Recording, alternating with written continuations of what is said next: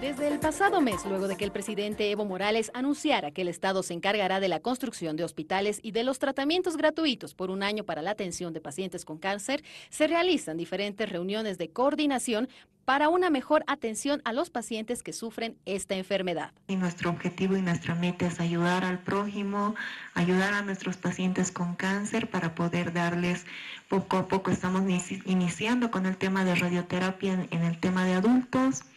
ya habíamos iniciado nuestro trabajo con el tema de niños, pero aún hay mucho trabajo por recorrer.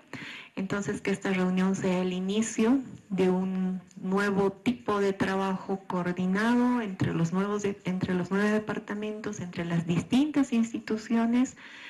para el bien de todos. Con estas reuniones se busca socializar el decreto 3704, reglamento de procedimientos y aprobación de flujogramas, todos en referencias a los pacientes que sufren esta enfermedad del cáncer a nivel nacional. Muchos de ustedes ya conocen el decreto Ahora necesitamos empezar a efectivizar lo que es la referencia de pacientes. Necesitamos llegar a consensuar, ver algunos criterios clínicos que sabemos que son imprescindibles y básicos para que estos pacientes puedan recibir este tipo de tratamiento, ver de coordinar el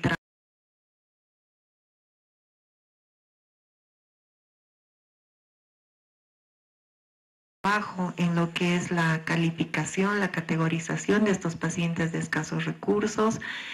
eh, en fin de poder ayudar a nuestra población, ¿no es cierto? Al final es nuestro mandato cada uno de nosotros como profesionales de salud, independientemente de donde estemos.